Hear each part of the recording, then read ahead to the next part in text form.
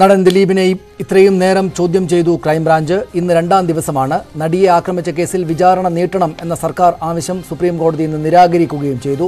വിചാരണ കോടതിക്ക് കൂടുതൽ സമയം വേണമെങ്കിൽ കോടതി ആവശ്യപ്പെടട്ടെ എന്നാണ്. അപ്പോഴാവശ്യപ്പെടട്ടെ എന്നാണ് സുപ്രീം കോടതി ഇന്ന് വ്യക്തമാക്കിയത്. സംവിധായകൻ ബാലചന്ദ്രകുമാറിന്റെ പുതിയ വെളിപ്പെടുത്തലുകളുടെ കൂടെ അടിസ്ഥാനത്തിൽ ഉള്ള തുടരന്വേഷണം അടക്കം നേരത്തെ നിശ്ചയിച്ച സമയത്തിനകത്ത് പൂർത്തിയാക്കണം എന്ന സാഹചര്യമാണ് ഇതോടെ ഉണ്ടായിട്ടുള്ളത്. അന്വേഷണത്തിന്റെ മുന്നോട്ട് പോക്ക് എങ്ങനെയാകും? എന്താണ് ഈ കേസിൽ നടക്കുന്നത്? ഇക്കാര്യങ്ങളിലാണ് നമ്മുടെ ചർച്ച. സ്വാഗതം.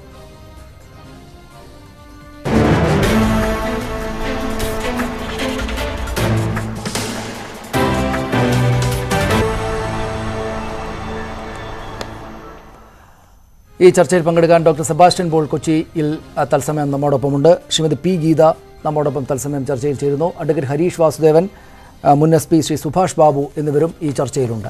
നാല് പേരിലേക്കും വിശദമായ ചർച്ചയിലേക്കും വരാം ഇടവേളയ്ക്ക് ശേഷം.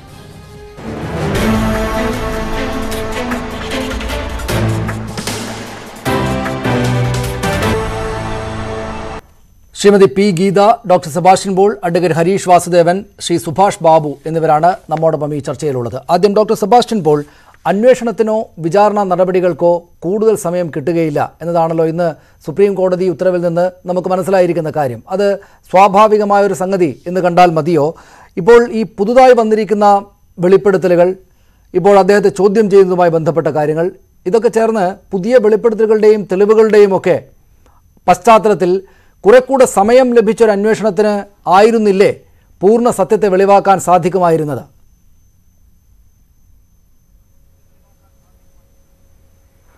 അല്ല ഞാൻ അങ്ങനെ കരുതുന്നില്ല. ഇവിടെ പ്രധാനപ്പെട്ട കേസ് കേരളത്തിലെ പൊതുസമൂഹം ആകാംക്ഷയോടെ കാത്തിരിക്കുന്ന വിധി. അത് ആ നടി ലൈംഗികമായി അവഹേളിക്കപ്പെടുകയും ആക്രമിക്കപ്പെടുകയും ചെയ്ത സംഭവത്തെക്കുറിച്ചുള്ളതാണ്. അതാണ് അത് അതിലാണ് നമുക്ക് താല്പര്യമുള്ളത്. ദിലീപ് പോലീസ് ഉദ്യോഗസ്ഥന്മാരെ ഭയപ്പെടുത്തിയോ അയാളുടെ വീട്ടിലിരുന്ന് ശാപവാക്ക് ഉച്ചരിച്ചുവോ അല്ലെങ്കിൽ മറ്റേതെങ്കിലും വാക്കുകൾ ഉച്ചരിച്ചുവോ എന്നുള്ളത് നമ്മെ സംബന്ധിച്ച് പ്രസക്തമായ കാര്യമല്ല. അങ്ങനെ ഭയപ്പെടേണ്ടവരാണ് കേരളത്തിലെ ഉയർന്ന പോലീസ് ഉദ്യോഗസ്ഥന്മാർ എന്ന് ഞാൻ കരുതുന്നുമില്ല. ദിലീപ് സിനിമയിൽ പല പോലീസുകാരെയും വിരട്ടുകയും ഭയപ്പെടുത്തുകയും ഒക്കെ ചെയ്യുന്നത് നമ്മൾ കണ്ടിട്ടുള്ളതാണ്. ചെസ് എന്ന സിനിമ തന്നെ ഇപ്പോൾ എനിക്ക് പെട്ടെന്ന് ഓർമ്മ വരുന്നുണ്ട്. അന്ധത അഭിനയിച്ചുകൊണ്ട് പോലീസ് കമ്മീഷണറെ നെട്ടോട്ടം ഓടിക്കുന്ന ഒരു കഥാപാത്രമാണത്. അത് യഥാർത്ഥമാണ് സത്യമാണ് എന്ന് കരുതിക്കൊണ്ടാണോ ഈ ഐ പി എസ് ഉദ്യോഗസ്ഥന്മാർ ഈ ദിലീപിന്റെ ഈ വാക്കുകളെ അല്ലെങ്കിൽ ബാലചന്ദ്ര കുമാർ ആ, വെളിപ്പെടുത്തലിനെ വിശ്വ വിശ്വസിക്കുന്നത് എന്നൊന്നും അറിഞ്ഞുകൂടാ. പക്ഷെ ഇന്ന് പ്രധാനപ്പെട്ട ഒരു സംഭവം എന്ന് പറയുന്നത് ഫെബ്രുവരി പതിനാറ് എന്ന ഡെഡ് ലൈൻ എക്സ്റ്റെൻഡ് ചെയ്യുന്നതിനുള്ള സർക്കാരിന്റെ അപേക്ഷ അത് സുപ്രീം കോടതി നിരാകരിച്ചിരിക്കുന്നു. അതുകൊണ്ട് ഫെബ്രുവരി പതിനാറ് എന്ന തീയതി വളരെ പ്രധാനപ്പെട്ടതാണ്. ഏതാണ്ട് എല്ലാ കാര്യങ്ങളും പൂർത്തി പൂർണമായിരിക്കുന്ന അവസ്ഥയാണ് ഇപ്പോൾ ആ കേസിനെ സംബന്ധിച്ച് ഉള്ളത്. സാക്ഷി വിസ്താരവും മറ്റു കാര്യങ്ങളുമൊക്കെ കേസിന്റെ ഈ അവസാന ഘട്ടത്തിൽ സുപ്രീം കോടതി നിശ്ചയിച്ച തീയതിക്കുള്ളിൽ വിധി പറയേണ്ട അവസ്ഥയിൽ സർക്കാർ ഇത്തരത്തിലുള്ള വാദങ്ങളും തടസ്സങ്ങളുമായി സുപ്രീം കോടതിയെ സമീപിച്ചത് അവിടെയൊക്കെ ചില ചില ആപത്തിന്റെ സൂചനകൾ മണക്കുന്നുണ്ട്. ഈ കേസിന് എന്ത് സംഭവിക്കും? നമുക്ക് കോട്ടയത്തെ ഒരു കേസ് നമ്മുടെ മുന്നിൽ മുന്നിലുണ്ട്. കന്യാസ്ത്രീയുടെ ആക്രമിച്ച കേസ്. ഇവിടെ എന്താണ് സംഭവിക്കാൻ പോകുന്നത്? പ്രോസിക്യൂട്ടർമാർ ഒന്നിനു പിന്നാലെ ഒന്നായി സ്പെഷ്യൽ പബ്ലിക് പ്രോസിക്യൂട്ടർമാർ രാജിവെച്ചു പോകുന്നു. പകരം ആളെ നിയമിക്കുന്നില്ല. ഇത് സർക്കാരിനും പ്രോസിക്യൂഷനും ഈ കേസിലുള്ള താല്പര്യം ഇത്രയേ ഉള്ളൂ. അത് അങ്ങനെയുള്ള ആശങ്കകളൊക്കെ നിൽക്കുന്നുണ്ട് ആ ആശങ്കകളൊക്കെ വിരാമം വിട്ടുകൊണ്ട് കൃത്യസമയത്ത് വിധി പറയണം എന്ന നിർദ്ദേശമാണ് ഇന്ന് സുപ്രീം കോടതി വിചാരണ കോടതിക്ക് നൽകിയിരിക്കുന്നത്. അത് അങ്ങേയറ്റം സ്വാഗതാർഹമാണ് എന്നതാണ് എന്റെ നിലപാട്. ശരി ഞാൻ തിരിച്ചു വരാം. ശ്രീമതി പി ഗീത ആ, നിലപാടിനോട് എങ്ങനെയാണ് യോജിപ്പാണോ വിയോജിപ്പാണോ എന്ന ചോദ്യം ഒന്ന് ഉണ്ട്. ഒന്ന് രണ്ടാമത്തേത് ഈ സംസ്ഥാന സർക്കാർ ഈ കേസ് അന്വേഷണം വിചാരണ നടപടികൾ വല്ലാതെ നീട്ടിക്കൊണ്ടുപോകാൻ ശ്രമിക്കുകയാണ്. അതിന് പിന്നിൽ ദുരുദ്ദേശമുണ്ട് എന്നതാണ് പ്രതിഭാഗം സുപ്രീം കോടതിയെ എന്ന് ബോധ്യപ്പെടുത്താൻ ശ്രമിച്ചത്. യഥാർത്ഥത്തിൽ ഈ വന്നിരിക്കുന്ന പുതിയ വെളിപ്പെടുത്തലുകളും അതോട് ചേർന്നുള്ള പുതിയ തുടരന്വേഷണവുമൊക്കെ ഈ കേസിന്റെ യഥാർത്ഥത്തിൽ വേഗത്തിലങ്ങ് തീരുക എന്ന അല്ലെങ്കിൽ ശരിയായിട്ടുള്ള ഒരു ഒരു ഒരു അന്തിമാവസ്ഥ എത്തുന്നതിനെ തടയുന്ന സാഹചര്യമാണോ ഉണ്ടാക്കിയിരിക്കുന്നത്. എനിക്ക് ഒന്ന് രണ്ട് കാര്യങ്ങൾ ഇതിന്റെ ആമുഖമായിട്ട് പറയാനുണ്ട്. അതെന്താന്ന് വെച്ചാൽ ഇപ്പൊ സർക്കാർ ഇതിലെന്തോ ഉപേക്ഷ കാണിക്കുന്നു എന്നുള്ള മട്ടിലുള്ള ഒരു അഭിപ്രായം വന്ന സ്ഥിതിക്ക് കൂടിയാണ് ഞാനത് പ്രത്യേകിച്ച് പറയാമെന്ന് കരുതുന്നത്. കാരണം നമ്മളുടെയൊക്കെ നികുതി പണം എടുത്തിട്ട് ഇവിടെ ഒരു കമ്മീഷൻ രൂപീകരിച്ചു. Hema commission justice Hema commission എന്ന് പറഞ്ഞിട്ടുള്ള ഒരു കമ്മീഷൻ രൂപീകരിച്ചു. ഇതിവിടെ റെലവെന്റ് അല്ല എന്ന് തോന്നും പക്ഷെ ഞാൻ ഇതിവിടെ റെലവെന്റ് ആണ് എന്ന് വിശ്വസിക്കുന്ന വ്യക്തിയാണ്. ആ ഹേമ കമ്മീഷന്റെ റിപ്പോർട്ട് അവർ രണ്ടു വർഷം മുമ്പ് ഏതാണ്ട് രണ്ടു വർഷം മുമ്പ് സബ്മിറ്റ് ചെയ്തു എന്നാണ് കേൾക്കുന്നത്. പക്ഷെ അത് ഇതുവരെയും പബ്ലിക്കിന്റെ മുമ്പാകെ അനൗൺസ് ചെയ്തിട്ടില്ല എന്നുള്ള ഒരു കാര്യം വളരെ പ്രധാനപ്പെട്ടിട്ടുള്ള ഒരു കാര്യമാണ്. അതൊരു വർക്ക് പ്ലേസ് ആണ്. സിനിമ എന്ന് പറയുന്നത് ഒരു തുറന്ന വർക്ക് പ്ലേസ് ആണ്. ആ വർക്ക് പ്ലേസിൽ അപ്പൊ ഞാനോ നിങ്ങളോ അല്ലെങ്കിൽ മറ്റാരെങ്കിലും ഒക്കെയോ നാളെ ചെന്ന് പെടാവുന്ന ഒരു പ്ലേസ് ആണ്. അങ്ങനെയുള്ള ഒരു വർക്ക് പ്ലേസിൽ ഇത്തരത്തിലുള്ള ഹറാസ്മെന്റുകളെ കുറിച്ചുള്ള പരാതികൾ വരുമ്പോൾ ഗവൺമെന്റ് കൂടുതൽ വിജിലന്റ് ആവേണ്ടതുണ്ട്. ആ വിജിലൻസിന്റെ ഭാഗമായിട്ടായിരിക്കുമല്ലോ ഇങ്ങനെ ഒരു കമ്മീഷൻ വെച്ചിട്ടുണ്ടാവുക. ആ കമ്മീഷന്റെ റിപ്പോർട്ട് എന്തുകൊണ്ടാണ് ഇപ്പോ ജനങ്ങൾക്ക് മുമ്പാകെ വെക്കാത്തത് എന്നുള്ള ഒരു ഉത്കണ്ഠ ഞാൻ ഇവിടെ പരസ്യമായി രേഖപ്പെടുത്തുന്നു. ആ വിഷയത്തിലേക്ക് ഞാൻ വരാം എന്ന് കരുതുന്നു. ഇപ്പോ സെബാസ്റ്റ്യൻ പോൾ സർ പറഞ്ഞത് അദ്ദേഹത്തിന് നിയമപരമായിട്ടുള്ള ഒരുപാട് കാര്യങ്ങൾ അതിന്റെ വൈദഗ്ധ്യം എന്നെക്കാളൊക്കെ അധികം ഉള്ള ഒരാളാണ് അദ്ദേഹം അദ്ദേഹം പറയുന്നു. പിന്നെ സുപ്രീം കോടതിയുടെ വിധിയെ സ്വാഗതം ചെയ്യുന്നു എന്നാണ് അദ്ദേഹം പറയുന്നത്. പക്ഷെ എനിക്ക് തോന്നുന്നു ഇപ്പം അതിനെ ഞാൻ സ്വാഗതം ചെയ്താലും ഇല്ലെങ്കിലും ഒക്കെ ആ വിധി വന്നു കഴിഞ്ഞു എന്നുള്ളതൊരു യാഥാർത്ഥ്യമാണ്. അപ്പോ ഇവിടെ സംഭവിച്ചിട്ടുള്ള സാഹചര്യം ഇപ്പൊ രണ്ട് പ്രോസിക്യൂട്ടർമാർ സ്പെഷ്യൽ പ്രോസിക്യൂട്ടർമാർ രാജിവെച്ചു പോയിട്ടുണ്ട്. അപ്പൊ എങ്ങ- എങ്ങനെയാണ് തുടരെ തുടരെ എങ്ങനെ സ്പെഷ്യൽ പ്രോസിക്യൂട്ടർമാർ രാജിവെക്കുന്ന ഒരു സാഹചര്യം ഉണ്ടാവുന്നത് എന്നുള്ളത് അത്ഭുതകരമായിട്ടുള്ള ഒരു കാര്യമാണ്. മുൻപ് ഒരു ഒരു സ്ത്രീ പീഡന കേസിലും ഉണ്ടാവാതിരുന്നിട്ടുള്ള ഒരു കാര്യമാണ് ഇത്. സ്പെഷ്യൽ പ്രോസിക്യൂട്ടർമാർ രാജിവെച്ചു പോകുന്നു അവർക്ക് അവിടെ ആ കോടതിയിൽ തുടരാൻ പറ്റുന്നില്ല വിചാരണ കോടതിയിൽ തുടരാൻ പറ്റുന്നില്ല എന്നുള്ളൊരു സാഹചര്യം അവർ അറിയിക്കുകയും ഒരേ കാരണത്താൽ രാജിവെച്ചു പോകുന്ന സ്പെഷ്യൽ പ്രോസിക്യൂട്ടർമാരുണ്ട് അപ്പോ അതിന്റെ ഒരു സാഹചര്യം തീർച്ചയായിട്ടും ഒരു ജുഡീഷ്യൽ എൻക്വയറിക്ക് വിധേയമാക്കണം എന്നുള്ളതാണ് എന്റെ വിനീതമായിട്ടുള്ള അഭിപ്രായം. എൻക്വയറി എന്ന് പറയുമ്പോൾ കാലതാമസം എന്ന് മാത്രമല്ല അർത്ഥം ഒരു അന്വേഷണത്തെ ഒരു വിധിയെ റെക്ടിഫൈ ചെയ്യുന്ന ഒരു ഘടകം കൂടിയായിട്ട് കാണണം. ഇതിങ്ങനെ പിന്നെ ഒരു അനവധിയായിട്ട് നീട്ടിക്കൊടുക്കുന്ന ഒരു സംഗതിയല്ല ആവേണ്ടതില്ല അന്വേഷണം എപ്പോഴും. മൂന്ന് മാസം ആറ് മാസം അങ്ങനെ എക്സ്റ്റെൻഡ് ചെയ്ത് പോവേണ്ടതില്ല. പക്ഷെ അത് അവിടെ ഗവൺമെന്റ് അത് വളരെ ശ്രദ്ധയിൽപ്പെടു ഗവൺമെന്റിന്റെ ശ്രദ്ധയിൽ വരേണ്ടുന്ന ഒരു കാര്യമാണ്. ഗവൺമെന്റ് നിശ്ചയിക്കുന്ന സ്പെഷ്യൽ പ്രോസിക്യൂട്ടർമാരാണ് അവിടെ വിചാരണ കോടതിയിൽ നിന്ന് രാജിവെച്ചു പോകുന്നത് എന്നുള്ളത്. പിന്നെ മൂന്നാമത്തെ ഒരു കാര്യമായിട്ട് നിങ്ങൾ ചോദിച്ചിട്ടുള്ളത് ന്യൂസ് എയ്റ്റീൻ ചോദിച്ചിട്ടുള്ളത് പുതിയ വെളിപ്പെടുത്തൽ ഇങ്ങനെ കാലതാമസം ഉണ്ടാക്കാൻ വേണ്ടിയിട്ടാണോ അല്ലയോ എന്നുള്ളതാണ്. അത് എനിക്ക് അറിഞ്ഞൂടാ അത് കാലതാമസം ഉണ്ടാക്കാൻ വേണ്ടിയിട്ടുണ്ടായിട്ടുള്ളതാണോ അല്ലയോ എന്നുള്ളത്. പക്ഷെ അങ്ങനെ ഒരു വെളിപ്പെടുത്തൽ വന്ന സ്ഥിതിക്ക് അത് അതിന്റെ നിജസ്ഥിതി അന്വേഷിക്കേണ്ടതുണ്ട് എന്ന് വിചാരിക്കുന്ന ഒരു വ്യക്തിയാണ് ഞാൻ. കാരണം അത് ശരിയല്ല എങ്കിൽ ആ പറഞ്ഞ ആൾ ശിക്ഷിക്കപ്പെടേണ്ടതാണ്. അത് ശരിയാണ് എങ്കിൽ ആ അത് അദ്ദേഹം വെളിപ്പെടുത്തിയിട്ടുള്ള കാര്യങ്ങൾ ഇപ്പൊ എല്ലാവർക്കും മീഡിയ കൂടെ അറിയാം. അത് ശരിയാണ് എങ്കിൽ തീർച്ചയായിട്ടും അതിന്റെ വഴികളിലൂടെ തന്നെ അന്വേഷണം മുന്നോട്ട് പോവുകയും അതുകൂടി ഉൾച്ചേർന്നിട്ടാണ് ഈ വിധി വരേണ്ടത് എന്നും കൂടിയാണ് എന്റെ ഒരു നിലപാട്. അതുകൊണ്ട് തന്നെ ശരി ഞാൻ തിരിച്ചു വരാം. അടുത്ത ഹരീഷ് വാസ്തവൻ ഇവിടെ അവർ പറഞ്ഞതുപോലെ ശ്രീമതി ഗീത ടീച്ചർ പറഞ്ഞതുപോലെ ഇവിടെ എല്ലാവർക്കും അറിയാവുന്നതുപോലെ പുതിയ ചില തെളിവുകൾ അത് പൊതുസമൂഹത്തിന്റെ ഭാഗത്ത് നിന്ന് നോക്കുമ്പോൾ ഈ നിയമപരമായിട്ട് ഡോക്ടർ സെബാസ്റ്റ്യൻ പോളും താങ്കളും അടക്കമുള്ള ആളുകൾ അങ്ങോട്ട് മാറ്റി നിർത്തിയിട്ട് സാധാരണ ആളുകൾ പൊതുജനം നോക്കുന്ന ആംഗിളിൽ നിന്ന് നോക്കിയാൽ ഇത് പുതിയ തെളിവുകളാണ്. ചില ശബ്ദരേഖകളുണ്ട്. താൻ ചെയ്തത് ഒരു പെണ്ണവൾക്ക് വേണ്ടിയാണല്ലോ എന്നതടക്കമുള്ള ചില ശബ്ദരേഖകളുണ്ട്. ഇതുവരെ ഇല്ലാതിരുന്ന ഒരാൾ കുറേയേറെ സംഗതികളുമായിട്ട് ആരോപണങ്ങളുമായിട്ട് കുറേ തെളിവുകളുണ്ട് എന്ന് പറഞ്ഞ് വരികയാണ്. അതിനെ പോലീസ് വളരെ ഗൗരവത്തിലെടുക്കുകയാണ്. സംസ്ഥാന സർക്കാർ അതിനെ ഗൗരവത്തിലെടുത്ത് സുപ്രീം കോടതിയിൽ വിചാരണ നടപടികൾക്ക് കുറെ കൂടെ സമയം വേണമെന്ന് ആവശ്യപ്പെടുകയാണ്. അപ്പോൾ ഇത് ഗൗരവമുള്ളൊരു സാഹചര്യം നിയമപരമായി തന്നെയും ഉണ്ടാക്കുന്നില്ലേ? പക്ഷേ എന്തുകൊണ്ടായിരിക്കണം? അത് വിചാരണ നടപടികൾ നീട്ടിവെക്കാൻ ഉതകും വിധം ഗൗരവത്തിലുള്ളതല്ല എന്ന് സുപ്രീം കോടതി വിചാരിച്ചിട്ടുണ്ടാവുക. അതിന്റെ നിയമപരമായിട്ടുള്ളൊരു വഴി എന്താണ്? ഒന്ന് ഇന്നത്തെ സുപ്രീം കോടതി വിധി പൂർണമായി സ്വാഗതം ചെയ്യുന്ന ഒരാളല്ല ഞാൻ. ഞാൻ അതിനെ പിന്തുണയ്ക്കുന്നേ ഇല്ല. അത് സുപ്രീം കോടതിക്ക് എന്തെങ്കിലും തെറ്റുപറ്റി എന്നതിന്റെ അടിസ്ഥാനത്തിലല്ല. മറിച്ച് സുപ്രീം കോടതിക്ക് രണ്ട് ഓപ്ഷൻസ് സാധ്യമായിരിക്കെ. അതിൽ ഈ ഒരു ഓപ്ഷൻ പതിനാറാം തീയതി വിചാരണ പൂർത്തീകരിക്കണം എന്ന നേരത്തെയുള്ള തീരുമാനത്തിൽ ഉറച്ചു നിൽക്കാനുള്ള ഒരു ഓപ്ഷൻ എടുത്തത് ശരിയായില്ല എന്ന അഭിപ്രായം എനിക്കുണ്ട്. പക്ഷെ അപ്പോൾ പോലും വിചാരണ കോടതിക്ക് ആവശ്യമായി വന്നാൽ അത് വിചാരണ നീട്ടാനുള്ള അവസ് അപേക്ഷയുമായി വരാം എന്ന് പറയുന്നത് സി ആർ പി സി അനുസരിച്ച് തന്നെ അത് നിയമവ്യവസ്ഥ അനുസരിച്ച് തന്നെ ശരിവെക്കപ്പെടേണ്ട ഒന്നാണ്. കാരണം വിചാരണ കോടതിയാണ് ഒരു റേപ്പ് കേസിന്റെ ട്രയൽ നടക്കുമ്പോൾ ഈ വിചാരണ ഇപ്പോൾ നിർത്തണോ? അതായത് ഇപ്പോൾ ഇത് അവസാനിപ്പിക്കണോ? അതോ സമയം എക്സ്റ്റൻഷൻ കൊടുക്കണോ എന്ന് തീരുമാനിക്കേണ്ടത്? അത് പൂർണമായി വിചാരണ കോടതിയുടെ അധികാര പരിധിയിൽ പെടുന്ന ഒരു കാര്യമാണ്. അപ്പൊ വിചാരണ കോടതി ഈ- കേസ് പരിശോധിക്കുമ്പോൾ ഇത് സെബാസ്റ്റ്യൻ പോൾ സാർ പറയുന്ന പോലെ അത്ര ലളിതമായ കാര്യമല്ല.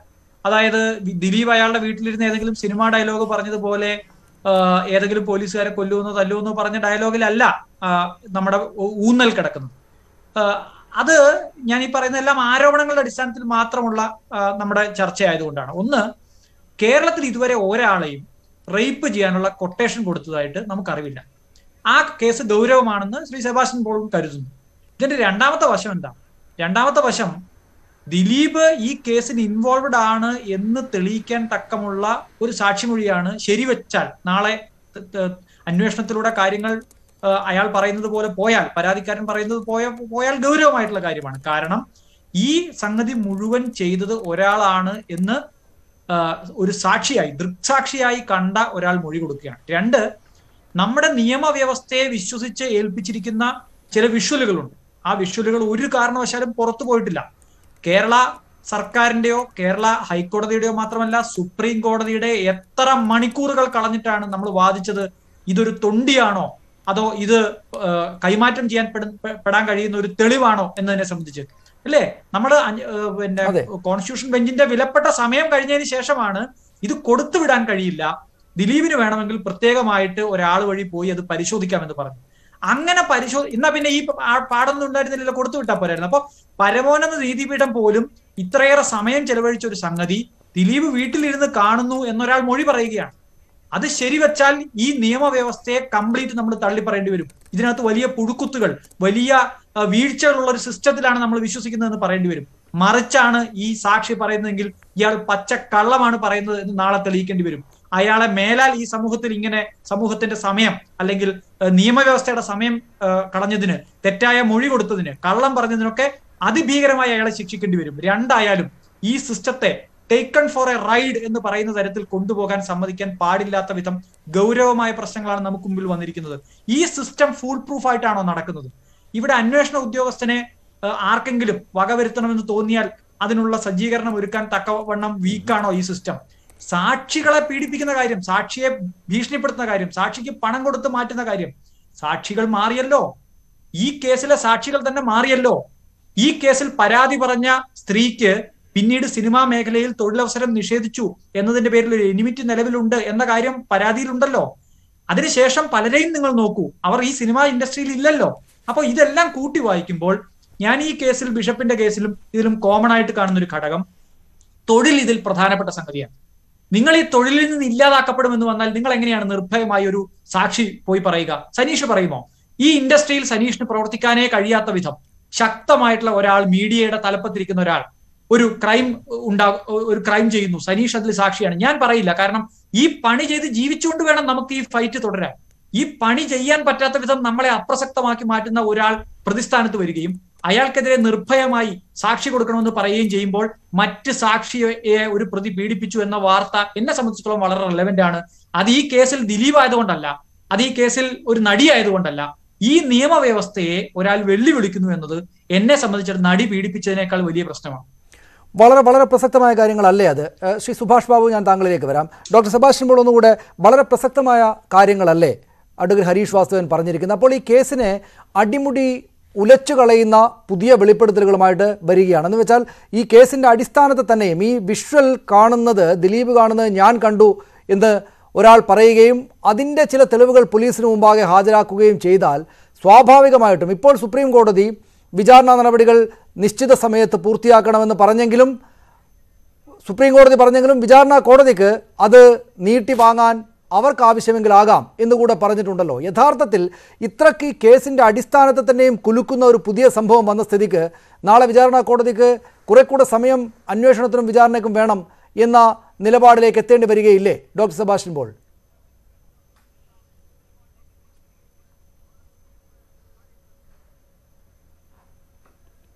അല്ല ഇവിടെ ഈ ചോദിച്ച് ഞാനാണ് ഉത്തരം പറയേണ്ടത്? അതോ സുഭാഷാണോ? ആണാണ് താങ്കളാണ് താങ്കളാണ്. Doctor Sebastian Paul.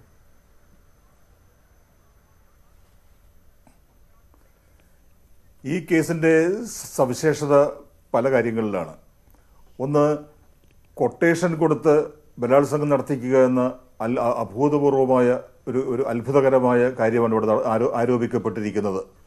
അത് പൂർണമായും ചിത്രീകരിച്ചു എന്നുള്ളത് മറ്റൊരു പ്രത്യേകതയാണ്. അങ്ങനെ ചിത്രീകരിച്ച ആ ദൃശ്യങ്ങൾ അത് വീണ്ടെടുക്കാനോ കണ്ടെടുക്കാനോ കഴിഞ്ഞിട്ടില്ല. അതെവിടെയോ പോയി.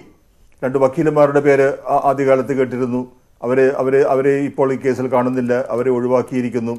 ഒരു ഒരു മാഡം ഒരു മതിൽ ചാടിക്കടന്നാണ് പൾസർ സുനി ആ മാഡത്തിന്റെ വീട്ടിലേക്ക് അന്ന് രാത്രി പോയത് എന്ന് കേട്ടു. പിന്നീട് മാഡവുമില്ല ഒന്നുമില്ല. പക്ഷേ ആ ഏത് എവിടെ നിന്നോ കിട്ടിയ ചില തുണ്ടുകൾ അത് മാത്രമാണ് പ്രോസിക്യൂഷന് കോടതിയിൽ ഹാജരാക്കാൻ കഴിഞ്ഞിട്ടുള്ളത്. അതിന്റെ പവിത്രത അതിന്റെ സുരക്ഷിതത്വത്തെക്കുറിച്ചാണ് കോടതി വിധി പറഞ്ഞത്. ഏതായാലും സുപ്രീം കോടതിയുടെ സമയം പാഴായിപ്പോയി എന്ന് ഞാൻ കരുതുന്നില്ല. കാരണം തൊണ്ടിയും തെളിവും തമ്മിലുള്ള വ്യത്യാസം ഡിസ്റ്റിങ്വിഷ് ചെയ്യുന്നതിനാണ്. അത് നമുക്കെല്ലാം ഇനിയും നാളെയും മറ്റു കേസുകളിൽ പ്രയോജനപ്പെടുന്ന വിധി തന്നെ വിധി തന്നെയാണ് വ്യാഖ്യാനം തന്നെയാണ് അവിടെ ഉണ്ടായിരിക്കുന്നത്. അപ്പോൾ അങ്ങനെയുള്ള ഒരു കേസ് പല ഘട്ടങ്ങൾ പിന്നിട്ട് ഇപ്പോൾ ഇവിടെ എത്തിയിരിക്കുന്നു. ഇവിടെ പ്രതി നിർദോഷിയായി വിട്ടുപോകും എന്ന് ഞാൻ കരുതുന്നില്ല കാരണം കേസിലെ മുഖ്യ പ്രതി ഈ കൃത്യം ഈ ഹീനകൃത്യം നിർവഹിച്ചത്. അത് ഈ പൾസർ സുനി തന്നെയാണ്. അതിന് ആരുടെയൊക്കെ സഹായമുണ്ടായിരുന്നു പ്രേരണയുണ്ടായിരുന്നു അതൊക്കെയാണ് അനുബന്ധ വിഷയങ്ങളായി വന്നിരിക്കുന്നത്. അക്കാര്യത്തിലും പ്രോസിക്യൂഷന് വ്യക്തതയുണ്ട് കോടതിയിൽ അതെല്ലാം ഹാജരാക്കിയിട്ടുണ്ട്. പക്ഷെ അപ്പോഴാണ് ഒരു ഒരു ഒരു ഒരാൾ പണ്ട് ബാർ കോഴക്കേസ് നടന്നപ്പോൾ ബിജു രമേശ് എന്നൊരു എന്നൊരാൾ വന്നതുപോലെ വെളിപ്പെടുത്തലുകളുമായി ബാലചന്ദ്രകുമാർ കടന്നു വന്നിരിക്കുന്നത്. ബാലചന്ദ്രകുമാറിന്റെ വെളിപ്പെടുത്തലുകളും പ്രസ്താവനകളും അന്വേഷിച്ചുകൊണ്ട് ഞാൻ പറഞ്ഞു അതിനേക്കാൾ പ്രധാനപ്പെട്ടത് പ്രധാന കേസ് അവിടെ ഉണ്ടല്ലോ. ആ പ്രധാന കേസ് അവസാനിപ്പിച്ചതിന് ശേഷം അതിൽ പ്രതികൾക്ക് അർഹമായ ശിക്ഷ വാങ്ങിക്കൊടുത്തതിന് ശേഷം പോലീസുകാരെ ഭീഷണിപ്പെടുത്തി എന്നുള്ളതൊക്കെ അതിനുശേഷമാണെങ്കിലും അന്വേഷിക്കാവുന്നതേ ഉള്ളൂ. അപ്പോൾ ഈ സംഭവം വന്നപ്പോൾ അവിടെ ഈ ഡെഡ് ലൈൻ അടുത്ത് നിൽക്കുകയാണ്. ഇതാണ് ഫെബ്രുവരി പതിനാറ്. അപ്പോൾ എങ്ങനെയും ആ കേസ് തീർക്കണം എന്നുള്ള അടിയന്തര ഘട്ടം നിൽക്കെ ആ പ്രാധാന്യം കുറച്ചുകൊണ്ട് സംശയമുള്ള ഡോക്ടർ സെബാസ്റ്റ്യൻ പോൾ അവിടെ ഒരു എന്നോട് ക്ഷമിക്കണം. ഇടയ്ക്ക് കയറി ഇടപെടുന്നതിൽ എനിക്കൊരു സംശയം അവിടെ ഉള്ളത് ഈ പ്രധാന കേസിനോട് ചേർന്ന സംഗതി തന്നെയല്ലേ ഇതാവുക? അതായത് പ്രധാന കേസ് ഈ കൊട്ടേഷൻ കൊടുത്ത് ഈ പെൺകുട്ടിയെ ഉപദ്രവിച്ചു ബലാത്സംഗം ചെയ്തു എന്ന കേട്ടുകേൾവിയില്ലാത്ത അസാധാരണമായൊരു കേസ്. ആ കേസിനകത്ത് ഈ പ്രതി എങ്ങനെ ഇൻവോൾവ് ചെയ്തിരിക്കുന്നു എന്ന് ആ പ്രധാനപ്പെട്ട കേസിന്റെ തന്നെ ഏറ്റവും പ്രധാനപ്പെട്ട തെളിവായിട്ടല്ലേ ബാലേന്ദ്രകുമാറിന്റെ വെളിപ്പെടുത്തലുകളും അയാൾ ഹാജരാക്കിയ തെളിവുകളും വരിക. അപ്പോൾ സ്വാഭാവികമായിട്ടും അത് വിശദമായിട്ട് ഒന്നുകൂടെ പരിശോധിക്കേണ്ടി വരില്ലേ?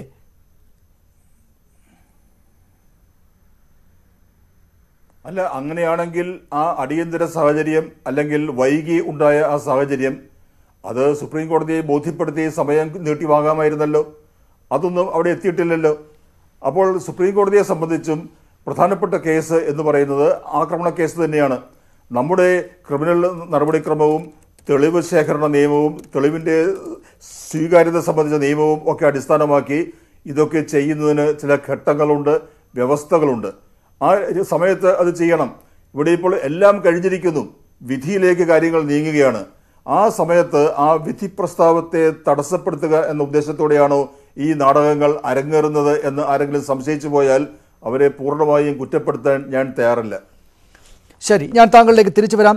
ശ്രീ സുഭാഷ് ബാബു ഇവിടെ പോലീസിന് മുന്നിൽ ഒരു അവസരവുമാണ് എന്നാൽ അതേസമയം ഒരു ബുദ്ധിമുട്ട് പിടിച്ച സാഹചര്യവുമാണ്. ഇവിടെ കൂടുതൽ സമയം ഒന്നിനും കിട്ടാനില്ല. രണ്ട് ദിവസമായിട്ട് ദിലീപിനെ ചോദ്യം ചെയ്യുന്നുണ്ട്. ഒരു ദിവസം കൂടെ ഉണ്ട്. യഥാർത്ഥത്തിൽ താങ്കൾക്ക് ഈ പോലീസിന്റെ ചോദ്യം ചെയ്യലും മറ്റു കാര്യങ്ങൾ അതിന്റെ സാങ്കേതികത എങ്ങനെയാണ് നടക്കുക എന്നത് സംബന്ധിച്ചൊക്കെ വിശദമായിട്ട് അറിയാവുന്ന ആളുകൾ ആളാണ്.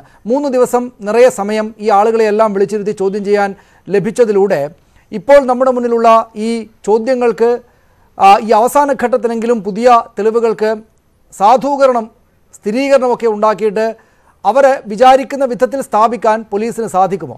ഈ അന്വേഷണം കൊണ്ട് ഇപ്പോഴത്തെ ചോദ്യം ചെയ്യൽ കൊണ്ട് അത് ഈ കൊലപാതക ഗൂഢാലോചന ശ്രമത്തിന്റെയൊക്കെ ഭാഗമായിട്ടുള്ള ചോദ്യം ചെയ്യലാണ് എങ്കിൽ പോലും ഈ പ്രധാനപ്പെട്ട കേസുമായി ബന്ധപ്പെട്ട് പുതിയ സംഗതികൾ സ്വരൂപിക്കാൻ പോലീസിന് സാധിക്കുമോ?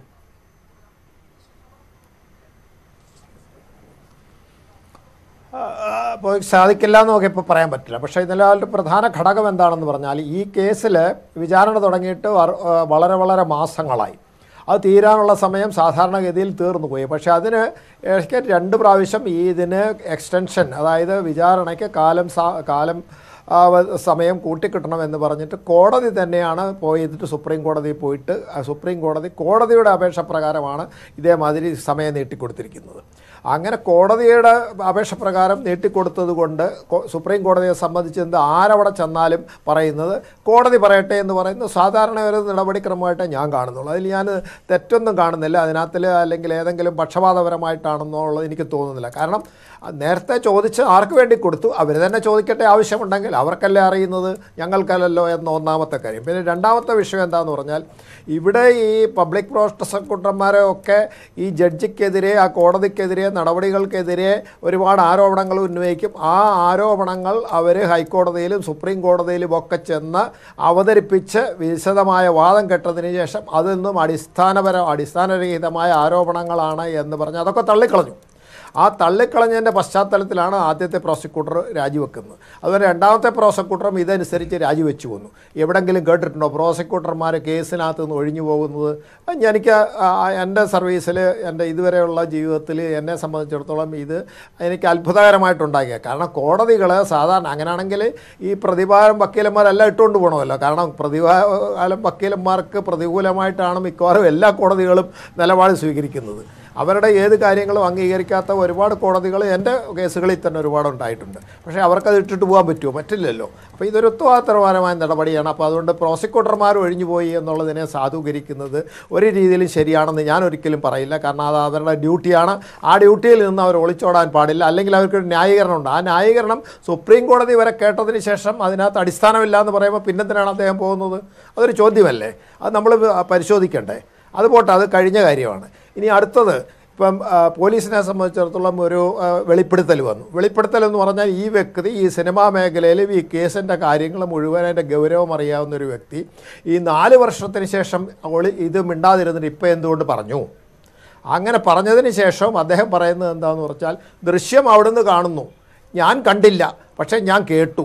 എന്ന് മാത്രം പറഞ്ഞിട്ട് അദ്ദേഹം ചില ഓഡിയോ ക്ലിപ്പുകൾ കൊടുക്കുന്നു. എന്നിട്ട് അദ്ദേഹം തന്നെ നേരിട്ട് പറയുന്നത് ഞാൻ കേട്ടു. സത്യമാണോ എന്ന് എനിക്കറിയില്ല. അദ്ദേഹം അത് ഒളിച്ചു വെച്ച് പറഞ്ഞതാണോ എന്നറിയില്ല. ഇത് ഞാൻ റെക്കോർഡ് ചെയ്തത് ഒരു ടാബിലാണ്. ആ ടാബ് കാലഹരണപ്പെട്ട് ഉപയോഗശൂന്യമായതുകൊണ്ട് ഞാൻ അത് ഒഴിവാക്കി. അത് ഇപ്പം എന്റെ കൈവശം ഇല്ല എന്ന് പറഞ്ഞിട്ടുണ്ട്. ആ സാധനം പോലീസിനുണ്ടെങ്കിൽ നമുക്ക് പറയാൻ തെളിവാണെന്ന്. പക്ഷേ അത് കിട്ടാത്തിടത്തോളം കാലം ഒറിജിനൽ ഇല്ല റെക്കോർഡ് ഒറിജിനൽ ഇല്ല അത് കഴിഞ്ഞതിന് ശേഷം അതിന്റെ കോപ്പി എടുത്തിട്ടുണ്ട്. അത് പിന്നെ എങ്ങനെ തെളിവായിട്ട് കൊണ്ടുവരാൻ എത്രമാത്രം അതിന് തെളിവ് അല്ല അല്ല ശ്രീ സുഭാഷ് ബാബു അത് തന്നെയും യഥാർത്ഥത്തിൽ ഈ ഇപ്പറയുന്ന നമ്മൾ പ്രശ്നങ്ങളെല്ലാം തന്നെയും യഥാർത്ഥത്തിൽ കുറെ കൂടെ സമയമെടുത്ത് ഒന്നുകൂടെ വിശദമായിട്ട് അന്വേഷണം നടത്തണം എന്ന ഒരു സാഹചര്യത്തെ നിർബന്ധിക്കുകയല്ലേ ചെയ്യുന്നത്? അതായത് ഇത്തരത്തിലുള്ള സംശയങ്ങളുണ്ട്. ഇനിയിപ്പോൾ നേരത്തെ അഡ്വക്കേറ്റ് ഹരീഷ് ചൂണ്ടിക്കാണിച്ചതുപോലെ ഇയാൾ പൂർണമായും കള്ളമാണോ എന്ന് പറയുന്നത്? ഇത് ദിലീപിന്റെ ശബ്ദമല്ലേ? വ്യാജമായിട്ട് റെക്കോർഡ് ചെയ്തതാണോ? ഇത്തരം കാര്യങ്ങളെല്ലാം തന്നെയും പരിശോധിക്കാൻ കൂടുതൽ സമയം ലഭിക്കേണ്ടത് പോലീസിന് സ്വാഭാവികമായിട്ടും ആവശ്യമല്ലേ? ഇപ്പോൾ വളരെ പ്രമാദമായ ഒരു കേസിൽ അതിന്റെ വിചാരണ നടപടികൾ അന്തിമഘട്ടത്തിലെത്തി നിൽക്കെ ഒരാൾ വന്നിട്ട് കുറേയേറെ തെളിവുകളുണ്ടെന്ന് പറയുമ്പോൾ ആ തെളിവുകളെ അവിശ്വസിച്ചും തള്ളിക്കളഞ്ഞും കൂടുതൽ അന്വേഷിക്കാതെ മുന്നോട്ട് പോകുന്നത് സത്യം പുറത്തു വരാൻ ശരിയായ കാര്യം ആകുമോ? അല്ല അതിന് അവസരം കൊടുത്തല്ലോ. അതായത് അത് ഡിസ്ക്ലോസ് ചെയ്തു. അതിനകത്ത് ഒരുപാട് വൈരുദ്ധ്യാത്മകമായ കാര്യങ്ങളുണ്ട്. കാരണം താമസം വന്നു എന്നുള്ളത് ഏറ്റവും പ്രധാനപ്പെട്ട ഘടകം. അത് കേസിലെ ഫാറ്റലായിട്ടുള്ള പ്രശ്നമാണ്. അതുപോലെ തന്നെ ഉണ്ടായ ഉണ്ടാകുന്നതെന്ന് പറഞ്ഞു കഴിഞ്ഞാൽ ഇത് ഡിസ്ക്ലോസ് ചെയ്തതിന് ശേഷം അതിന്റെ ഒറിജിനൽ എന്റെ കൈവശമില്ല. റെക്കോർഡ് ചെയ്തതിന്റെ ഒറിജിനൽ എന്റെ കൈവശമില്ല. അവർ നമ്മൾ ചില ഡീലുണ്ടായിരുന്നു അത് എന്തോ സാഹചര്യങ്ങളിൽ പരസ്പരം തെറ്റിപ്പിരിഞ്ഞു പോയി ഇതൊക്കെ കഴിഞ്ഞതിന് ശേഷം ഒരാൾ പറയുന്നത് സ്വാഭാവികമായിട്ട് സംശയങ്ങൾ അദ്ദേഹത്തിന്റെ പേരിലുണ്ടാവും. അത് കോടതിയുടെ മുമ്പിൽ രണ്ട് ഭാഗവും അവതരിപ്പിക്കും. അവതരിപ്പിക്കുന്ന അവസരം കോടതിയെ സംബന്ധിച്ച് ഇത് ബോധപൂർവമായി ഇത് ചെയ്യപ്പെടുകയാണോ എന്നൊരു സംശയം കോടതിക്ക് വരില്ലേ? വരും. അതുകൊണ്ട് അതുകൊണ്ട് ഇത് അന്വേഷിക്കേണ്ടെന്ന് പറഞ്ഞിട്ടില്ലല്ലോ. അന്വേഷിക്കാം എന്ന് പറഞ്ഞിരിക്കുന്നു. അന്വേഷിക്കാൻ ഒരു കുറച്ച് സമയം കൊടുത്തു.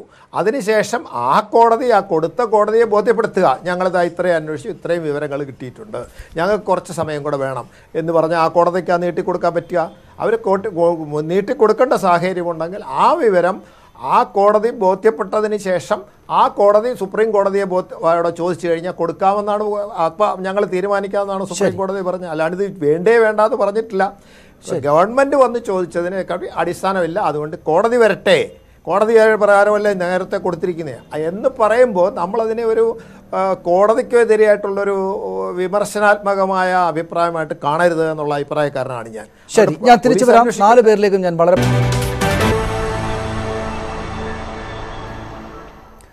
അഡ്വക്കേറ്റ് ഹരീഷ് വാസ്തവൻ ഇവിടെ വിചാരണ കോടതിക്ക് മുന്നിലും രണ്ട് സാധ്യതകളാണല്ലോ. നമ്മൾ ആ ഭാഗത്ത് നോക്കുമ്പോൾ കാണുക. ഒന്ന് ഈ ഇത് കേസിന്റെ അടിസ്ഥാനത്തെ തന്നെയും ബാധിക്കുന്ന പുതിയ തെളിവുകളാണ്. അതിൽ ഈ പോലീസിന് തുടരന്വേഷണത്തിന് അനുമതി നൽകിയിട്ടുണ്ട്. ഈ ചുരുങ്ങിയ ദിവസത്തിനകം അത് പുതിയ തെളിവുകൾ വരുമ്പോൾ അതിന്മേൽ ഈ ഇന്ന് സുപ്രീം കോടതി പറഞ്ഞതുപോലെ കോടതിയെ സമീപിച്ച് കുറെ കൂടെ സമയം വേണം എന്നാവശ്യപ്പെടാം അതിനുള്ള സാധ്യത നിയമപരമായിട്ട് എത്രത്തോളം ഉണ്ടാകും? അല്ലെങ്കിൽ ഇത് ഇത്രയും കാലം ഈ പറഞ്ഞ പ്രോസസ്സിലൂടെ മുഴുവനായിട്ട് വന്നതാണ്. ഇപ്പോൾ വന്നിരിക്കുന്ന ഈ തെളിവുകൾക്കകത്ത് അത്ര വലിയ പ്രാധാന്യമില്ല എന്ന് കണ്ട് നിശ്ചയിച്ച സമയത്ത് തന്നെ വിചാരണ നടപടികൾ പൂർത്തിയാക്കിയിട്ട് മറ്റ് സമൂഹത്തിന് മുന്നിൽ ഇതിന്റെ വിധി പറയുക എന്ന പ്രോസസ്സിലേക്ക് കടക്കുകയാകുമോ? കൂടുതൽ നിയമപരമായി ഉചിതമായത്?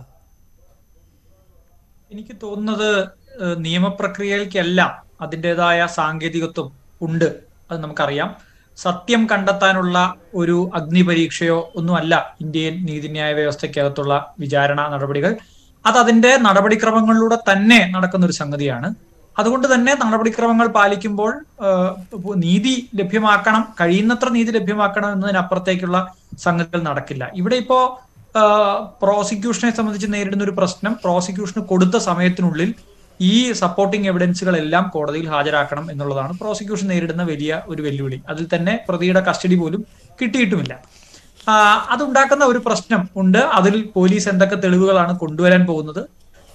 പ്രോസിക്യൂഷൻ എന്തൊക്കെ തെളിവുകളാണ് കൊണ്ടുവരുന്നത് എന്നതിനെ ആശ്രയിച്ചാണ് ഇനിയുള്ള വിചാരണ വേണമോ വേണ്ടയോ എന്നൊക്കെ കോടതിക്ക് തീരുമാനിക്കാൻ പറ്റുള്ളൂ. ഇപ്പൊ ഇന്ന് നമ്മളിത് ചർച്ച ചെയ്യുന്ന സമയത്ത് പോലും ഈ വിചാരണ കോടതിയെ നയിക്കുന്ന ബഹുമാന്യനായ ജഡ്ജിക്ക് ഇത് നീണ്ടുപോകുമോ ഇല്ലയോ എന്ന് പറയാൻ കഴിയില്ല.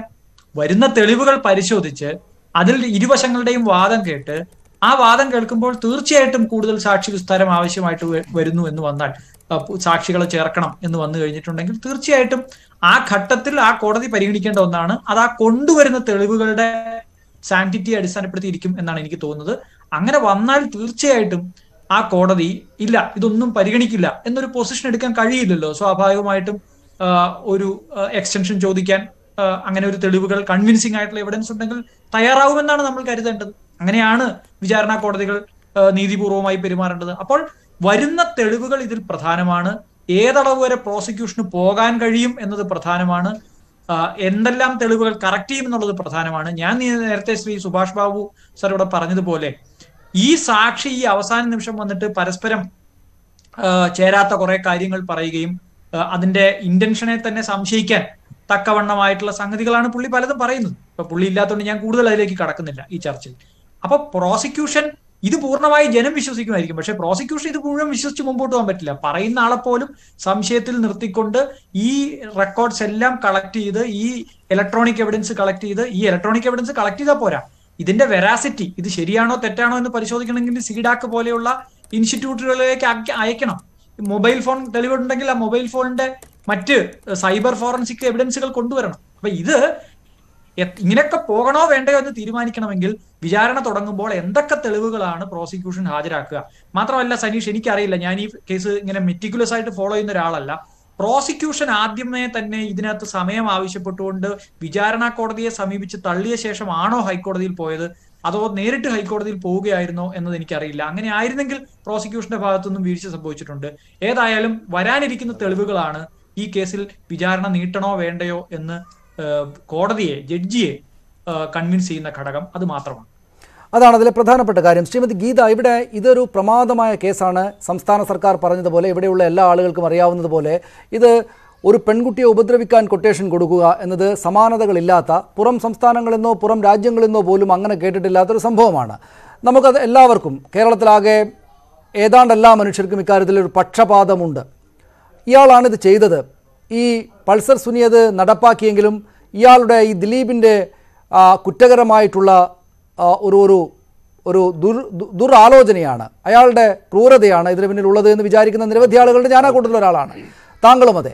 പക്ഷേ ഇവിടെ നിയമപരമായിട്ട് ഇതിന്റെ പ്രോസസ്സിലൂടെ കടന്നു പോവുക എന്ന് വെച്ചാൽ അത് മറ്റൊരേർപ്പാടാണ് അതിനകത്ത് പണം അതിന്റെ അധികാരം അവയൊക്കെ അവയുടെ ചില കളികളൊക്കെ കളിക്കും. ആത്യന്തികമായിട്ട് നിയമപരമായിട്ട് ചെയ്യാവുന്നതെല്ലാം ചെയ്തിട്ടും വിചാരണ നടപടികൾ ഇന്ന ദിവസത്തിനകം ഫെബ്രുവരി പതിനാറാം തീയതിക്കകം പൂർത്തിയാക്കണം. ഇത് തിരിച്ചടി ഉണ്ടാകുമെന്ന് ഈ ഇരയായ പെൺകുട്ടിയുടെ ഭാഗത്തുള്ള അനവധി ആളുകൾ ഭയപ്പെടുന്നുണ്ട്. തിരിച്ചു വന്നേക്കാം. നമുക്കറിയില്ല സുപ്രീം ഈ കോടതിയുടെ ഭാഗത്തു നിന്ന് എന്താണ് വിധി വരുന്നത് എന്ന്. പക്ഷേ ആത്യന്തികമായിട്ട് ഈ പ്രോസസ്സിനകത്തുകൂടെ കടന്നുപോയിട്ട് നീതിയല്ല ലഭ്യമാകുന്ന അനീതിയാണ് എന്ന് വരികയാണെങ്കിൽ പിന്നെ എന്താണ് ചെയ്യാനാവുക?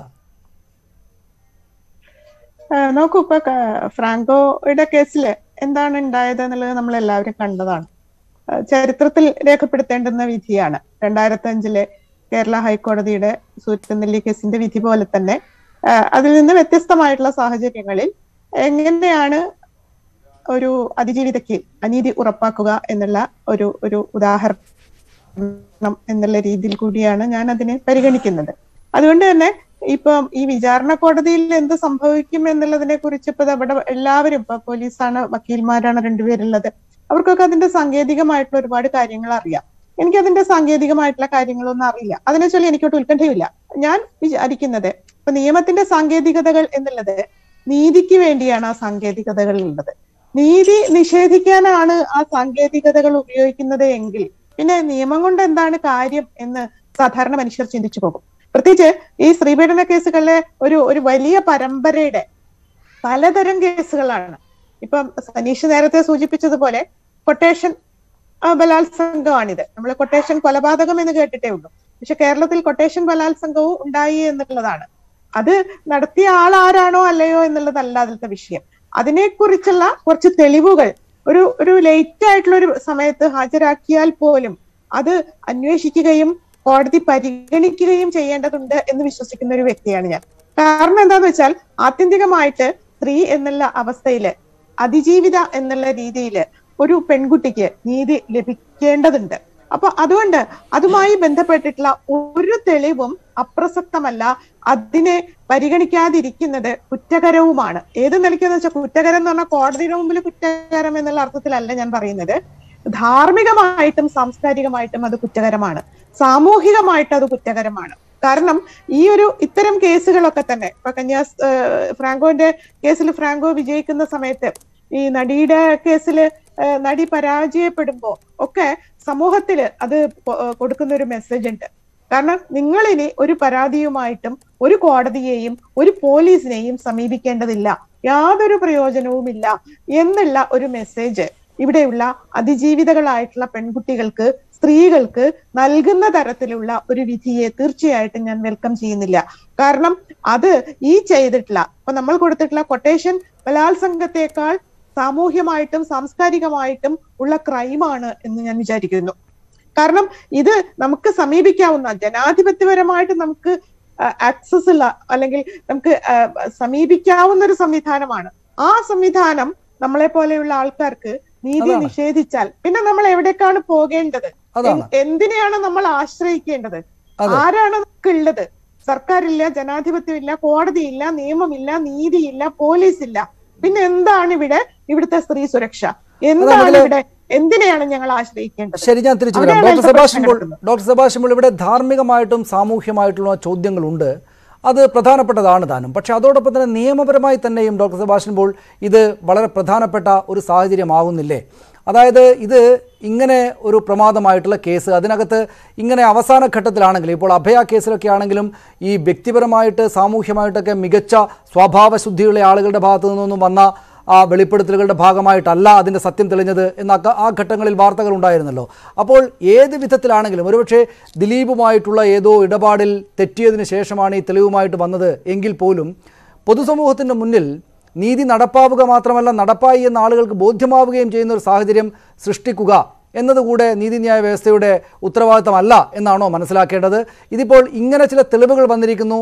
ഒരാൾ ദിലീപിന്റെ അടുത്ത ആളായിരുന്നു എന്ന് പറഞ്ഞ് ഈ തെളിവുകളുമായിട്ടൊക്കെ രംഗത്ത് വന്നിരിക്കുന്നു. അപ്പോൾ സ്വാഭാവികമായിട്ടും എല്ലാ കാര്യങ്ങളും പരിശോധിച്ചിട്ട് പൂർണമായിട്ടും പഴുതടച്ച വിധിയിലേക്ക് പോകണം എന്ന് നിയമപരമായി തന്നെയും അനുശാസിക്കുന്ന ഘടകങ്ങളൊന്നുമില്ലേ നീതിന്യായ വ്യവസ്ഥയിൽ?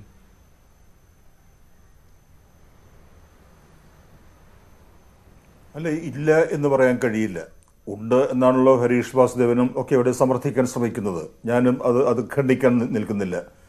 പക്ഷേ ഈ ബാലചന്ദ്രകുമാർ എന്ന അറിയപ്പെടാത്ത ഒരു സംവിധായകൻ ഞാൻ ആദ്യമായിട്ടാണ് പേര് കേൾക്കുന്നത്.